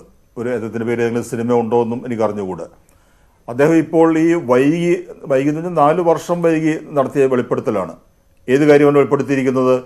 ഈ കേസിലെ അന്വേഷണ ഉദ്യോഗസ്ഥനെ വധിക്കും എന്ന് ഉള്ള ഗൂഢാലോചന ദിലീപ് നടത്തി എന്ന കാര്യം അറിഞ്ഞിട്ട് ഒരു ജീവൻ രക്ഷിക്കേണ്ട കാര്യമാണ്. എന്നിട്ട് പോലും ആ അന്വേഷണ ഉദ്യോഗസ്ഥന് ഒരു മുന്നറിയിപ്പ് നൽകാൻ ബാലേന്ദ്രകുമാറിന് കഴിഞ്ഞില്ല. ഞാൻ അതിന്റെ പേരിലൊന്നും അദ്ദേഹത്തിന്റെ ക്രെഡിബിലിറ്റിയെ ചോദ്യം ചെയ്യുന്നില്ല. ഇപ്പോൾ ഇവിടെ ചൂണ്ടിക്കാണിക്കപ്പെട്ടതുപോലെ ഒരു വിചാരണയുടെ ഏത് ഘട്ട വിചാരണ എന്നത് വാസ്തവത്തിൽ സത്യാന്വേഷണമാണ്. നമ്മൾ സത്യ- സത്യത്തിലേക്ക് എത്തിച്ചേരുമോ ഇല്ലയോ എന്നുള്ളത് മറ്റൊരു വിഷയം. ആ സത്യാന്വേഷണത്തിന്റെ ഏത് ഘട്ടത്തിലും അതിന് സഹായകമായ ഏത് വിവരവും ആർക്കും കൊണ്ടുവരാം. അത് സ്വീകരിക്കപ്പെടുകയും വേണം. സ്വീകരിക്കപ്പെടും വേണമെന്ന് പറയുമ്പോൾ അതിന് നിയമമുണ്ട്. പ്രൊസീജിയറുണ്ട്. നമ്മുടെ നിയമവ്യവസ്ഥയെ ശ്രദ്ധേയമാക്കുന്നത് പ്രൊസീജിയറിന്റെ ബലമാണ്. ആ രീതിയിൽ ആണെങ്കിൽ അത് വിചാരണ കോടതിയെ ബോധ്യപ്പെടുത്താം. ഇന്ന് സുപ്രീം കോടതിയും പറഞ്ഞിരിക്കുന്നത് തന്നെയാണല്ലോ. വിചാരണ കോടതിയെ ബോധ്യപ്പെടുത്തി കൂടുതൽ കാര്യങ്ങളിലേക്ക് പോകണം എന്ന് ഒരു ആവശ്യം വന്നാൽ അതിന് ഘട്ടം വന്നാൽ സമയം നീട്ടി ചോദിക്കാം. അതിനൊന്നും ഒരു സുപ്രീം കോടതി തടസ്സം നിന്നിട്ടില്ല. പക്ഷെ ഒരു കാര്യമുള്ളത് ഈ കേസിൽ നമ്മളിപ്പോൾ ഫ്രാങ്കോയുടെ കേസിൽ ഇപ്പോൾ വിജ വിധി വന്നതിന് ശേഷം പരിതപിക്കുന്നുണ്ട് പല കാര്യങ്ങളിലും. എന്തുകൊണ്ട് അങ്ങനെ വന്നു എന്ന ചോദ്യമുണ്ട്. ഇങ്ങനെ പോയാൽ എന്താണ് സ്ത്രീ സുരക്ഷ എന്ന ചോദ്യവുമുണ്ട്. ചോദ്യമൊക്കെ ശരി തന്നെയാണ്. പക്ഷെ അതുപോലെ തന്നെയാണ് ഈ ദിലീപിന്റെ കേസിലും. കേസിന്റെ അവസാന ഘട്ടത്തിൽ വിധി പ്രസ്താവിച്ചതിന് ശേഷം നമ്മൾ പ്രോസിക്യൂഷനിലെ അല്ലെങ്കിൽ കേസ് അന്വേഷണത്തിലെ പഴുതുകളും പോരായ്മകളും നിരത്തിയത് കൊണ്ട് കാര്യമില്ല. പോരായ്മകൾ ഉണ്ട് എന്ന് പോലീസിനും പ്രോസിക്യൂഷനും ബോധ്യം വന്നിട്ടുണ്ട്. ആ ബോധ്യത്തിന്റെ അടിസ്ഥാനത്തിലുള്ള പരിഭ്രാന്തിയിൽ നിന്നുകൂടിയാണ് ഇപ്പോൾ അവർ കാണിക്കുന്ന ഈ കാര്യങ്ങളൊക്കെ. ഞാൻ അങ്ങനെ വിലയിരുത്തുന്ന ഒരാൾ കൂടിയാണ്. അവിടെ ഡോക്ടർ സെബാസ്റ്റ്യൻ ബോഷ് പക്ഷേ ഇവിടെ ഈ പ്രമാദമായ രണ്ട് കേസുകളിലും പ്രത്യേകിച്ച് ഈ കേസിൽ പണം അധികാരം ഇതൊക്കെ വലിയ കളി കളിക്കുന്നു. ഇപ്പോൾ ഈ കേസിലാണെങ്കിൽ ഈ സാക്ഷികളുടെ കൂറുമാറ്റം എന്നതൊരു വസ്തുതയായിട്ട് നമ്മുടെ മുന്നിൽ ആകെ ഉണ്ട്. ഈ പുറത്തു നിന്ന് നോക്കുന്ന ആളുകൾക്ക് കേസിൽ എന്താണ് സംഭവിക്കുന്നത്? പ്രോസിക്യൂട്ടർമാർ സ്ഥാനത്ത് നിന്ന് ഇറങ്ങിപ്പോകുന്നു. ആകെപ്പാടെ കുഴമറിച്ചിലാണ്. ഇതിനകത്ത് പണം കൊടുത്ത് ആളുകളെ കൂറുമാറ്റിയതാണെന്ന ആക്ഷേപമടക്കം വരികയാണ്. അപ്പോൾ സ്വാഭാവികമായിട്ടും അതിനകത്ത് ഇങ്ങനെയല്ലാതെയുള്ള ഇടപെടലുകൾ വേണ്ടി വരികയില്ലേ? അത് ഈ വിചാരണ കോടതിയുടെ ഭാഗത്ത് നിന്ന് സുപ്രീം കോടതി അങ്ങനെ നിങ്ങൾക്ക് ആവശ്യമെങ്കിൽ സമയം ചോദിക്കണം എന്ന് പറഞ്ഞിരിക്കെ വിചാരണ കോടതി യഥാർത്ഥത്തിൽ അത് ചെയ്താലാവുകയില്ലേ? കൂടുതൽ നിയമത്തിന്റെ വഴിയിലൂടെ നീതിയുള്ളൊരു നടപടിയാവുക. കുറെ കൂടെ വിശദമായിട്ട് ഇക്കാര്യങ്ങളെ പരിശോധിക്കുന്നത്.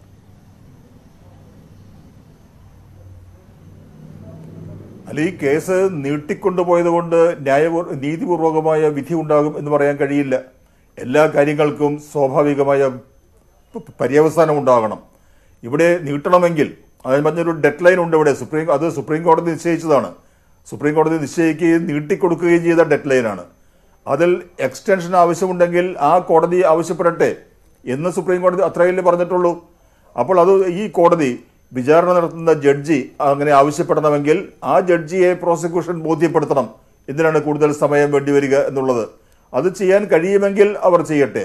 ഇവിടെ സാക്ഷികൾ കൂറുമാറുന്നതിനെ കുറിച്ചൊക്കെ പറഞ്ഞു. സാക്ഷികൾ കൂറുമാറുക സാക്ഷിയെ മറിക്കുക എന്നൊക്കെ ഉള്ളത് അതിനാണ് ഈ ക്രിമിനൽ അഭിഭാഷകരുടെ പ്രാഗൽഭ്യം. നമ്മൾ ചില കേസുകളൊക്കെ വരുമ്പോൾ പറയില്ലേ കേസിൽ പ്രതിഭാഗം ജയിക്കുമ്പോൾ അതിപ്രഗത്ഭനായ ക്രിമിനൽ അഭിഭാഷകൻ എന്നൊക്കെ മാധ്യമങ്ങൾ വിശേഷിപ്പിക്കാറുണ്ട്. അവരുടെ പ്രാഗൽഭ്യം ഈ കൂറുമാറ്റുന്നതിലും തെളിവ് നശിപ്പിക്കുന്നതിലും ഒക്കെ തന്നെയാണ്. അത് ഇത് ഇവിടെ സംഭവിച്ചു കാണും.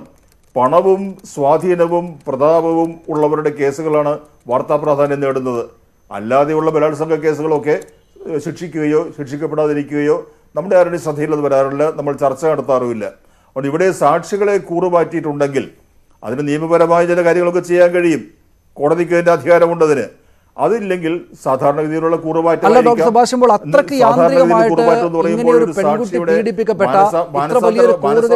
അങ്ങനെ ഒരു യാന്ത്രികമായ നിലപാട് കോടതി സ്വീകരിക്കുന്നത് കോടതി പ്രൊസീജിയർ എനിക്ക് മനസ്സിലാകും. പക്ഷേ കോടതി അങ്ങനെ യാന്ത്രികമായിട്ട് പണം കൊണ്ടും ആ ആളുകളെ മറിക്കുന്നതൊക്കെ സ്വാഭാവികമായ കാര്യമല്ലേ?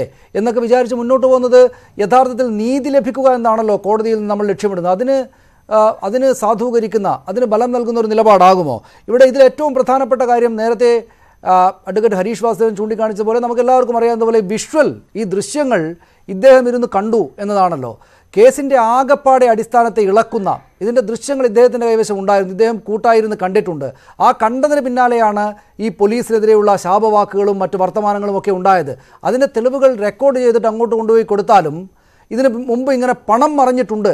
അതിന്റെ ആത്മവിശ്വാസത്തിൽ കൂടിയാണ് ഇയാൾ ജയിലിൽ കിടന്നതിന് ശേഷം പോലും ഇയാൾക്ക് ഈ വർത്തമാനം പറയാൻ കഴിഞ്ഞത് എന്ന സാഹചര്യമൊക്കെ ഉണ്ടായിരിക്കെ. അതിയാന്ത്രികമായിട്ട് കോടതി പണമുള്ള ആളുകൾ ഇങ്ങനെയൊക്കെ നേടും. പ്രൊസീജിയറിനെ അവർക്ക് അനുകൂലമായിട്ട് കൊണ്ടുപോകും എന്ന് കരുതി മുന്നോട്ട് പോകുന്നത് യഥാർത്ഥത്തിൽ നീതി നടപ്പിലാക്കുന്ന ഒന്നാകുമോ? അങ്ങനെയാണെങ്കിൽ പിന്നെ പണമില്ലാത്ത ആളുകൾക്ക് ഈ കോടതിയിൽ നിന്ന് എന്താണ് ലഭിക്കുക? നീതി എങ്ങനെയാണ് ലഭിക്കുക?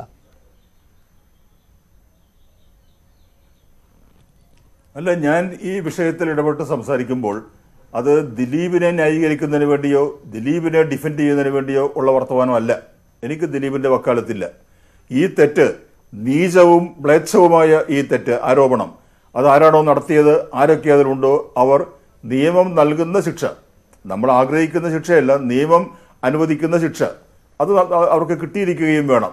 ഇവിടെ വൈകാരികമായി ഈ വിഷയത്തെ പൊതുസമൂഹം സമീപിക്കുന്നത് പ്രത്യേകിച്ച് സ്ത്രീ സമൂഹം സമീപിക്കുന്നത് സ്വാഭാവികമാണ്. ആ വൈകാരികമായ പിന്തുണ ഈ ഈ ആക്രമണത്തിന് ഇരയാകുന്നവർക്ക് സ്ത്രീകൾക്ക് മാധ്യമങ്ങൾ നൽകുന്നുണ്ട് പൊതുസമൂഹം നൽകുന്നുണ്ട്. പക്ഷെ നിയമത്തിന് അങ്ങനെ വൈകാരികമായി പോകാൻ കഴിയില്ല. നിയമത്തിന് പ്രൊസീജിയറുണ്ട് ആ പ്രൊസീജിയർ അനുസരിച്ച് തന്നെ ഭരണഘടന പറയുന്നു. പ്രൊസീജിയർ എസ്റ്റാബ്ലിഷ്ഡ് ബൈ ലോ ആ പ്രൊസീജിയർ എന്ന് പറഞ്ഞാൽ ക്രിമിനൽ പ്രൊസീജിയർ കോഡുണ്ട് എവിഡൻസ് ആക്ട് ഉണ്ട് പോലീസ് ആക്ട് ഉണ്ട് പല കാര്യങ്ങളും ഉണ്ട്. അതുകൊണ്ട് വൈകാരികത മാറ്റിവെച്ചുകൊണ്ട് സാങ്കേതികത്വത്തിൽ ഊന്നി തന്നെ കോടതിക്ക് മുന്നോട്ട് പോകാൻ കഴിയുകയുള്ളൂ. ആ സാങ്കേതികത്വം എപ്പോഴും നീതി നിഷേധത്തിൽ അവസാനിക്കും എന്ന് പറയേണ്ട കാര്യവുമില്ല. അത് അദ്ദേഹം പറഞ്ഞ തെറ്റായ കാര്യമല്ല വളരെ മനസ്സിലാക്കാവുന്ന കാര്യമാണ്. ശ്രീ സുഭാഷ് ബാബു ഇവിടെ ഈ വൈകാരികമായിട്ടൊരു കുറ്റകൃത്യത്തോട് വൈകാരികമായിട്ടുള്ള പ്രതികരണം സമൂഹത്തിന് ഉണ്ടാകാൻ മാത്രം വലിയ ഒരു കുറ്റകൃത്യമാണ് നടന്നത്. പക്ഷേ ആ വൈകാരികതയെ ശിക്ഷിപ്പിക്കുന്ന വിധത്തിൽ കോടതിക്ക് മുമ്പാകെ അല്ലെങ്കിൽ അന്വേഷണ സംവിധാനങ്ങൾക്ക് മുമ്പാകെ എത്തിക്കേണ്ടുന്ന ചുമതല ഈ അന്വേഷണ സംവിധാനത്തിനും പോലീസിനുമൊക്കെ ഉണ്ടായിരുന്നു. അതിൽ അവർ ആദ്യഘട്ടത്തിൽ പരാജയപ്പെട്ടു. എന്ന് നമ്മൾ മനസ്സിലാക്കിയാൽ പിശകാകുമോ? ഈ രണ്ടാം ഘട്ടത്തിൽ അവരുടെ മുന്നിലേക്ക് ഏതോ വിധത്തിൽ എത്തിച്ചേർന്നിരിക്കുന്ന ഈ പുതിയ സാഹചര്യത്തെ അവർ ഉപയോഗിക്കാൻ പോസിറ്റീവായിട്ട് ഉപയോഗിക്കാൻ അവർക്ക് സാധിക്കുമോ ഈ ചുരുങ്ങിയ കാലത്തിനകത്ത്?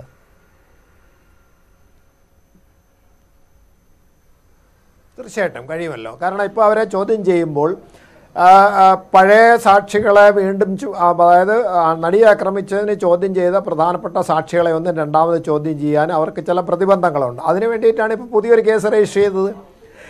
പോലീസ് ഉദ്യോഗസ്ഥന്മാരെ അപകടപ്പെടുത്താൻ പോകുന്നു എന്നൊരു പുതിയ കേസ് രജിസ്റ്റർ ചെയ്തത് അതും കൂടെ ആയിരിക്കും അതിന്റെ താല്പര്യം. എടുത്തതിന് ശേഷം അവർക്ക് ഈ കേസിന്റെ അന്വേഷണമായിട്ട് ആരെ വേണമെങ്കിൽ ചോദ്യം ചെയ്യാം ആരുടെ വേണമെങ്കിൽ വൺ സിക്സ്റ്റി ഫോർ എടുക്കാം. എന്നിട്ട് അതിനകത്തിൽ നിന്ന് വരുന്ന തെളിവുകൾ എന്തെങ്കിലും നമ്മുടെ പ്രധാനപ്പെട്ട നടിയെ ആക്രമിച്ച കേസിന് ഉപയോഗിക്കാൻ സാധ്യമാകും എന്ന് ഇവർക്ക് ബോധ്യപ്പെടുത്തുന്ന രീതിയിൽ കൊണ്ടുവരികയും അത് കോടതിയെ ബോധ്യപ്പെടുത്തുകയും ചെയ്യാനുള്ള സാഹചര്യം ഇപ്പോൾ ഉണ്ട്. അതുപോലെ തന്നെ ഇപ്പോൾ ഈ പ്രതികളെ ചോദ്യം ചെയ്യുന്നു. അവരെ ഈ ഇന്റർമിറ്റന്റ് അതായത് വിട്ടുവിട്ട സമയത്ത് ചോദ്യം ചെയ്യുന്നതുകൊണ്ട് യഥാർത്ഥത്തിൽ അവരുടെ മേലിൽ സമ്മർദ്ദമില്ല. അവരെ സംബന്ധിച്ചിടത്തോളം മാനസികമായിട്ടുള്ള ഒരു ഭയമില്ല. അതുകൊണ്ട് അവരെ സംബന്ധിച്ചുള്ള അവർ ലഷറലി ആയിട്ട് അതുപോലെ തന്നെ ഒരു ദിവസം പറഞ്ഞതിനകത്തുള്ള അപാകതകൾ അല്ലെങ്കിൽ കൂടുതൽ ഏതെങ്കിലും കൂട്ടിച്ചേർക്കൽ വേണമെങ്കിൽ ഒഴിവാക്കൽ വേണമെങ്കിൽ അടുത്ത ദിവസമോ അതിനടുത്ത ദിവസമോ അവർക്ക് ചെയ്യാവുന്നതേ ഉള്ളൂ. അപ്പോൾ അത് ഫലപ്രദമായിട്ടുണ്ടാകുമെന്ന് എനിക്ക് അഭിപ്രായമൊന്നുമില്ല. അതെന്തായാലും ശരി ഒരു പരിധി വരെ. അപ്പോൾ അതുകൊണ്ട് അതിനകത്തുനിന്ന് ചില വൈരുദ്ധ്യങ്ങളൊക്കെ ഇവർ പറയുന്നതിൽ കിട്ടും. അതൊക്കെ അവർക്ക് പ്രത്യേകമായിട്ട് എടുത്തതിന് ശേഷം അത് സമയത്ത് അവർക്കത് വെരിഫൈ ചെയ്യാം. ഇപ്പോൾ ഇന്ന് പലരും സാക്ഷികളെയൊക്കെ വിട്ടു. അതുപോലെ തന്നെ അവർ രഹസ്യമായിട്ട് പല ആളുകളെയും സമീപിച്ച് ചോദിക്കുന്നുണ്ടാവും. അതിനൊക്കെ പോലീസ് തെളിവ് ശേഖരിക്കുന്നുണ്ട്. അങ്ങനെയൊക്കെ തെളിവ് ശേഖരിച്ചതിന് ശേഷം അവർക്ക് സംശയാസ്പദമായ സാഹചര്യങ്ങളുണ്ട് എന്ന് കോടതിയെ ബോധ്യപ്പെടുത്താൻ കഴിയും. പിന്നെ പ്രതികൾ പറഞ്ഞത് തന്നെ അവർ രേഖപ്പെടുത്തി കഴിഞ്ഞാൽ അതിനൊന്നും രേഖയൊന്നുമില്ല. പോലീസ് ഉദ്യോഗസ്ഥനോട് ഇങ്ങനെ ചോദിച്ചപ്പോൾ ഇങ്ങനെ പറഞ്ഞു എന്ന് എഴുതി. ഇനിയും പറയാത്ത കാര്യം അതിനകത്ത് എഴുതി കഴിഞ്ഞാൽ പറയാം ഇതാ ഇങ്ങനൊരു പ്രതി പറഞ്ഞിട്ടുണ്ട്. ആ പറഞ്ഞിട്ടുള്ളത് കൊണ്ട് ഇവരെ ഗൂഢാലോചന ഇവരെല്ലാം കൂടെ നടത്തി എന്നുള്ളതിന് ഏകദേശം ഞങ്ങളെ സംബന്ധിച്ച് ഒരു ബോധ്യം വന്നിട്ടുണ്ട്. അതായത് പ്രതികളിൽ നിന്ന് കിട്ടിയ ഒരു പിന്നെ നമ്മളെ ഒരു ഫാക്റ്റ് അതായത് ഒരു വിവരം ഞങ്ങൾക്ക് കിട്ടിയിട്ടുണ്ട്. ഈ വിവരം എന്തായാലും ശരി ഞങ്ങൾക്ക് ഉത്തമ ബോധ്യത്തിൽ എടുക്കാൻ സാധിച്ചിട്ടുണ്ട്. അതുകൊണ്ട് ഇതിന്റെ കൂടുതൽ അന്വേഷണം വേണമെന്നുള്ള രീതിയിൽ കോടതിയിൽ പറഞ്ഞു കഴിഞ്ഞാൽ കോടതി അത് സമ്മതിക്കില്ലേ? സമ്മതിക്കാം. അപ്പോൾ അതുകൊണ്ട് അവരെ സംബന്ധിച്ചിടത്തോളം ന്യായമായിട്ടോ അന്യായമായിട്ടോ ഒരു തുടരന്വേഷണത്തിന് സമയം കിട്ടണം എന്ന് പോലീസ് കോടതിയെ ബോധ്യപ്പെടുത്താൻ അവർക്ക് സാധിക്കും. അതുകൊണ്ട് ഇതെല്ലാം തീർന്നുപോയി എന്ന് ആരും ധരിക്കേണ്ട. പക്ഷേ നിയമപരമായിട്ട് അല്ലെങ്കിൽ ഇതിന്റെ നടപടിക്രമം അനുസരിച്ചിട്ട് ഒരുപാട് പ്രതിബന്ധങ്ങൾ ഈ കേസുകളിൽ തുടരന്വേഷണത്തിന്റെ സമയത്ത് പോലീസിനെ അഭിമുഖീകരിക്കണം. അതവർ ബുദ്ധിപൂർവമായിട്ട് ഒരു അന്വേഷണ ഉദ്യോഗസ്ഥൻ വളരെ കൂർമ്മതയോട് കൂടിയിട്ട് അത് കൈകാര്യം ചെയ്യാൻ സാധിക്കണം. പിന്നെ അത് അന്വേഷിക്കുന്ന ശ്രീ മോഹനചന്ദ്രൻ അദ്ദേഹം സംബന്ധിച്ചിടത്തോളം നല്ല ഒരു ഇൻവെസ്റ്റിഗേറ്റിംഗ് ഓഫീസറാണ് സത്യസന്ധനാണ്. അദ്ദേഹത്തിന് അതിനെപ്പറ്റി വിവരം ഉണ്ടാവും അല്ലെങ്കിൽ അദ്ദേഹത്തിന് ചോദിച്ചു ചെയ്യാനുള്ള പ്രാപ്തിയുണ്ട്. അതുകൊണ്ട് നിങ്ങളാരും ഈ ആകുലപ്പെടുന്ന മാതിരിയുള്ള സാഹചര്യങ്ങളൊന്നും ഇവിടെ ഉണ്ടെന്ന് എനിക്ക് തോന്നുന്നില്ല. പക്ഷേ അത് ചെയ്യുമ്പോൾ അവധാനതയോടും ശ്രദ്ധയോടും കൂടി അതുപോലെ നിയമപരമായിട്ട് അവർക്ക് എന്ത് ചെയ്യാൻ കഴിയുമെന്നുള്ള അവർ തീരുമാനിച്ച് അത് തെളിവായി കോടതിയുടെ മുമ്പിൽ ബോധ്യപ്പെടുത്തി കഴിഞ്ഞാൽ ഇതിന് നീട്ടിക്കിട്ടാനൊക്കെ സാഹചര്യങ്ങളുണ്ട്. അതുകൊണ്ട് ആ വഴിക്ക് ചിന്തിക്കണം. അല്ലാണ്ട് ഇത് വിമർശനാത്മക രീതിയിൽ ചിന്തിക്കരുതെന്നാണ് എന്റെ അഭിപ്രായം. ശരി. ശ്രീമതി ഗീത നമുക്ക് ഈ ചർച്ച അവസാനിപ്പിക്കാം. ഇത് പണം അതിന്റെ പ- പങ്ക് വഹിക്കുന്ന സംഭവങ്ങൾ തന്നെയാണ് നിയമപരമായിട്ടുള്ള മുന്നോട്ട് പോക്കൊക്കെ. പക്ഷേ അതുകൊണ്ട് ഇനിയിപ്പോൾ ഇത്ര വലിയ ക്രൈമിൽ ഇയാൾ കുറ്റവാളിയാണെങ്കിൽ ഏതെങ്കിലും വിധത്തിൽ അദ്ദേഹത്തിന്റെ കൈവശം ഒരുപാട് പണമുണ്ട് എന്നതുകൊണ്ട് മാത്രം ഇത് എപ്പോഴും എന്നേക്കുമായിട്ട് അത് തീർന്നു പോകും എന്ന് വിചാരിക്കുന്നുണ്ടോ താങ്കൾ? അങ്ങനെ വിചാരിക്കാൻ ഒരു സ്ത്രീ ആയിട്ടുള്ള എനിക്ക് ബുദ്ധിമുട്ടുണ്ട്. അങ്ങനെ ആവരുത് എന്ന് ആഗ്രഹിക്കുന്ന ഒരു ഒരു സ്ത്രീ എന്നുള്ള രീതിയിലാണ് എനിക്ക് അതിനുള്ള ബുദ്ധിമുട്ടുള്ളത്. അപ്പൊ നേരത്തെ ഈ ബാലചന്ദ്രകുമാറിനെ അറിയില്ല എന്നൊക്കെ സെബാസ്റ്റ്യൻ പോൾ സാർ പറയുന്നത് കേട്ടു. അടയ്ക്ക രാജുവിനെ നമ്മൾ ആരും അറിഞ്ഞിരുന്നില്ലല്ലോ. അതുപോലെയാണ് എന്നുള്ള അർത്ഥത്തിലല്ല കേട്ടോ ഞാൻ പറയുന്നത്. എക്സ് ഓർ വൈ കൊട്ടേഷൻ കൊടുത്തത് ദിലീപാണോ അല്ലയോ? എനിക്ക് അറിഞ്ഞൂടാ. ദിലീപാണെങ്കിലും അല്ലെങ്കിലും കൊട്ടേഷൻ അങ്ങനെ ആരെങ്കിലും കൊടുത്തിട്ടുണ്ടെങ്കിൽ ആ കൊട്ടേഷൻ കൊടുത്ത ആൾ തീർച്ചയായിട്ടും ഇതിൽ കുറ്റവാളിയാണ് എന്ന് വിചാരിക്കുന്ന ഒരു വ്യക്തിയാണ് ഞാൻ. കാരണം അതൊരു പുതിയ പുതിയ തരത്തിലുള്ള ഒരു ഒരു ഒരു വയലൻസ് ആണ് സ്ത്രീകൾക്ക് നേരെയുള്ളത്. അപ്പൊ അതുകൊണ്ട് തന്നെ ഇപ്പൊ നടപടിക്രമം സാങ്കേതികത്വം പ്രൊസീജർ പിന്നെ ഇങ്ങനെ ഒരുപാട് കാര്യങ്ങളാണ് പറയുന്നത്. അതൊക്കെ ശരിയാണ്. അതെല്ലാം തന്നെ നിയമപുസ്തകത്തിൽ എഴുതി വെച്ചിട്ടുള്ളതാണ്. അതിനെ മറികടന്നിട്ട് ഒന്നും ചെയ്യാൻ പറ്റില്ല. പക്ഷെ ഇതൊക്കെ എഴുതി വെച്ചിട്ടുള്ളതും ഇതൊക്കെ എന്തിനു വേണ്ടിയിട്ടുള്ളതാണ്? നീതി നടപ്പാക്കാൻ വേണ്ടിയിട്ടുള്ളതാണ് നിയമങ്ങളുടെ പ്രൊസീജിയർ എന്നാണ് എനിക്ക് അതിന്റെ ഒരു ഇത് മനസ്സിലാവുന്നത്. എനിക്ക് നിയമം ഒന്നും അറിഞ്ഞൂടാ. എനിക്ക് അതിന്റെ വകുപ്പ് അറിഞ്ഞൂടാ നിയമം അറിഞ്ഞൂടാ ഒന്നും അറിഞ്ഞൂടാ. പക്ഷെ നീതി നടപ്പാക്കി കിട്ടാനാണ് നമ്മൾ നിയമത്തെ ആശ്രയിക്കുന്നത്. അതിനു വേണ്ടിയിട്ടാണ് അതിന്റെ പ്രൊസീജിയറുകൾ ഉള്ളത് അതിനു വേണ്ടിയിട്ടാണ് നമ്മൾ തെളിവുകൾ ഉള്ളത് അതിനു വേണ്ടിയിട്ടാണ് പോലീസ് അന്വേഷിക്കുന്നത്.